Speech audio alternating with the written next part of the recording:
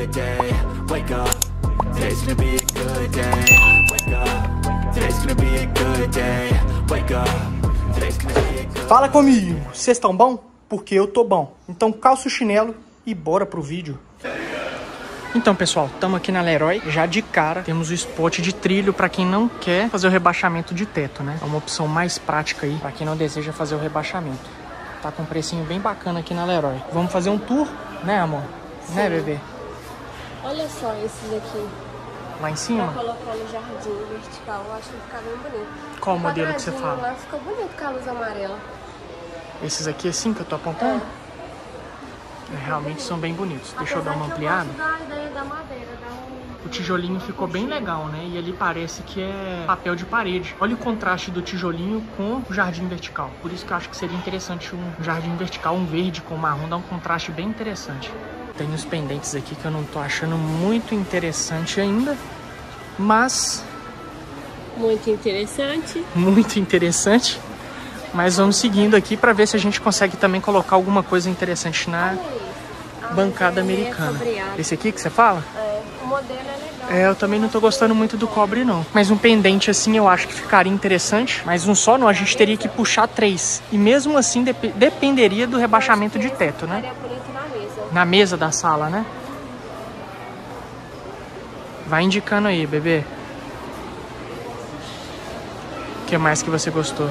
Gostei desse. Esse aqui É, eu achei esse bem bonito. realmente ficou bem Gostei bonito. de trás também, mas tá bem fechado. Qual que você fala? Esse aqui? É, esse mais... É bem bonitinho mesmo. Pra gente, isso aqui eu acho que seria interessante pra gente colocar realmente na área da, da bancada. Um deckzinho desse 43 por 43, 119. Vou colocar a palma da minha mão aqui pra ter uma noção. Olha isso. A gente veio pra poder ter algumas inspirações, mas essas inspirações estão desinspirando. Grama sintética. Meu Deus. 1.400 reais. Esse é mais aqui é aqui é mais. Esse aqui, ó, ela é ruim. De pisar. É, não, realmente. Tem diferença sim. tem que ser a de. Essa aqui tá quanto? 500. Eu colocaria de 500, amor. Olha o jardim vertical. Quase que caiu pra trás aí, né, bebê? Olha o preço, pessoal. Vou tentar focar pra vocês Um aqui. metro. Essa é muito 429 o metro. Essa aqui é até bonita, agora essa aqui é feia. É uma gradezinha, mas realmente é muito caro, né? Muito caro.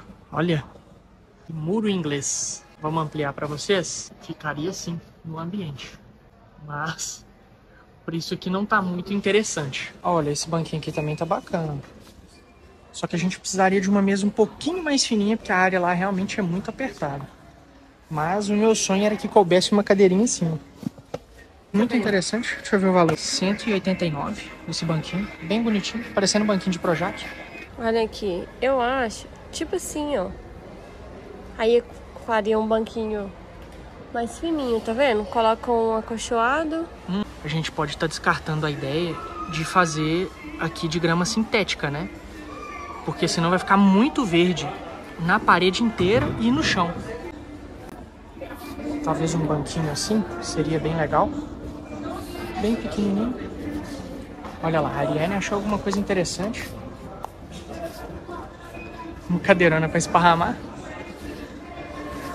Dá pra você dormir. Quando você brigar comigo, você vai dormir na cadeira. Ai, sentei na cadeirinha aqui. Literalmente esparramei aqui. Aqui não tá tudo, mas olha só pra você ver a ideia. Hum, Tá vendo? mantendo então a graminha, né? Dá, pra- olha aqui, dá pra manter, eu acho. Olha aqui. Olha, talvez um banquinho daquele ali caberia tranquilamente, né, bebê? Parecendo uma palha, acho que fica bem legal, mas eu não sei se suportaria chuva, né? Para área externa, se isso aqui aguentaria chuva. Mas eu acho que é um banquinho bem interessante. Olha aí, realmente um nichozinho para colocar sabonete. O seu sabonete deve custar aí na faixa de uns mil reais. Você tem um descanso de sabonete, o seu sabonete está descansando. Ele custa 244 reais, tá, pessoal? Somente para o seu sabonete passar a noite enquanto você não toma seu banho. É o preço de uma diária em um hotel para você descansar. Exatamente. Aqui temos um apoiador de toalha de rosto até a sua toalha de rosto descansa enquanto você se mata de higiênico. trabalhar. Ah, é papel higiênico. Papel higiênico caro. papel higiênico caro. E aqui você pagando mil reais pra ter uma torneirinha dessa.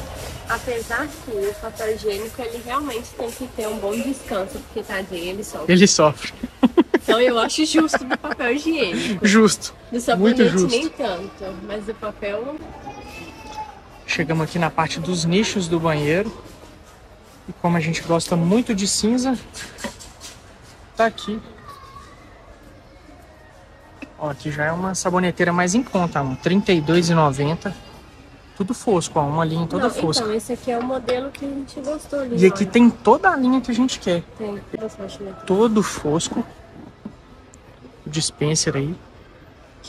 Todo fosco. Tem até uma, uma bandejinha aí. Uma gavetinha. Tem inclusive o. Como é que chama isso aqui, amor? Eu nunca sei o nome de nada. Isso é. Escova sanitária. Ah, não, não aguento mais. É o verde cocô seco, pessoal. Não. É o verde cocô seco, a cor do macaúba. Não, não, não. Ah, tem um conjuntinho de madeira bem bacana, olha. A gente tinha visto esse conjuntinho mesmo. Olha, ele tem uma tampinha aqui. Até parece que você vai ficar tirando essa tampinha toda vez que Bom, você Esse branco com madeira eu achei muito legal.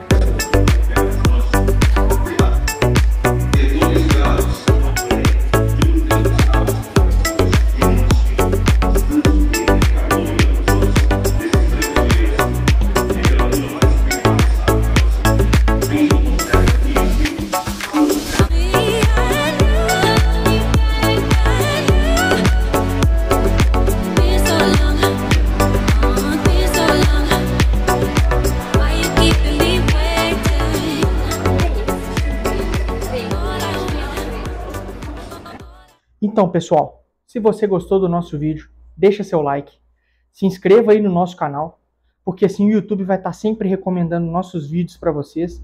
E não se esqueça, tá? De ativar o sininho do Balango Dango, beleza? Então é isso, pessoal. Fui!